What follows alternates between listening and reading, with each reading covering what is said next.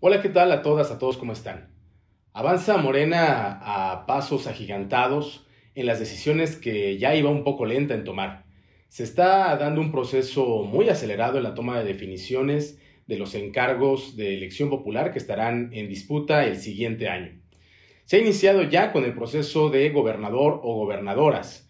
Hay que contemplar que el Instituto Nacional Electoral ha hecho un planteamiento a los partidos políticos para que haya una mayoría en esta lista de 15 espacios a disputar, una mayoría de mujeres. Creo que es una buena noticia, más allá de en quién están las facultades, si en el INE o si en el Senado de la República, es una buena noticia que vaya a haber más compañeras involucradas en espacios tan importantes.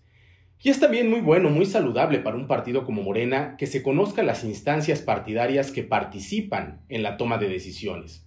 Quizá usted que nos ve no conoce lo que significa eh, la comisión de elecciones en el partido, que es la verdadera responsable de llevar a cabo estos procesos, o la labor que realiza la Comisión Nacional de Encuestas, cuando no hay un acuerdo para una candidatura de unidad, existen compañeras y compañeros que son los responsables de que se encueste a la población, que se trabaje directamente en territorio y que sea justamente la ciudadanía quien defina quiénes van a ocupar esos espacios. Y hay otro espacio muy importante, otra comisión, la Comisión Nacional de Honestidad y Justicia de nuestro partido. Se le dice la Comisión Jurisdiccional Interna, es decir, es la encargada de mantener el orden y la paz en nuestro partido político. Esta comisión atraviesa por un momento muy peculiar porque el Tribunal Electoral ha mandatado que se debe renovar. Es el único espacio del partido que no se había renovado. Y en todas las comisiones vale la pena también que haya una rendición de cuentas. ¿Qué pasó con la anterior comisión de encuestas y qué resultados entregó? ¿Qué pasó con la anterior Comisión Nacional de Elecciones y cuál fue el resultado de su participación? Recordemos que no nos fue nada bien en Hidalgo y en Coahuila. Y también, ¿qué resultados deja esta Comisión Nacional de Honestidad y Justicia?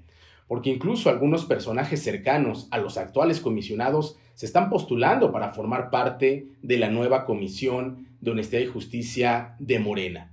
Esta comisión tiene una característica muy especial, la capacidad de instalar por cuenta propia, de manera oficiosa, se dice, algunos procedimientos sancionadores en contra de militantes de nuestro partido. Esta característica es fundamental, es decir, si la comisión juzga que hay una acción que contraviene los principios, que contraviene el estatuto de Morena, tendría que actuar. Sin embargo, se hace de manera discrecional. En algunos casos actúa de forma inmediata y en algunos casos se guarda la posibilidad de hacerlo.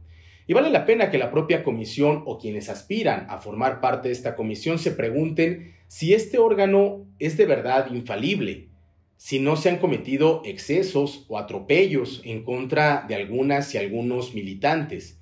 Y si esto es así, si existe la posibilidad de que se cometan atropellos en contra de algunos militantes, ¿cómo la Comisión de Honestidad y Justicia, este órgano tan importante, repara el daño? Existe la posibilidad de que la Comisión reconozca que en algunos casos ha actuado mal y cómo puede difundir una disculpa en contra de quienes haya actuado de manera negativa. Todo esto es muy importante y muy saludable que se haga público. Justo creo que estamos avanzando a un buen camino, lo habíamos dicho en otro medio de comunicación, para que Morena se convierta en una caja de cristal y todas y todos podamos estar al pendiente de la toma de decisiones. ¿Cómo quiénes y por qué deciden lo que deciden en el partido más importante de México y, si me apuran, en el partido más importante de América Latina. Es muy importante lo que está pasando, es fundamental la participación de todas y todos. Les mando un abrazo y un saludo.